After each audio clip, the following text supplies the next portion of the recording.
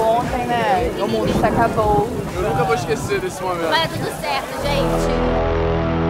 A onda de calor que atinge o Brasil. O sistema de forte intensidade, ele traz um risco bastante elevado para tempestades. É um documentário. Você me abre seus braços. Só o casamento. Olha que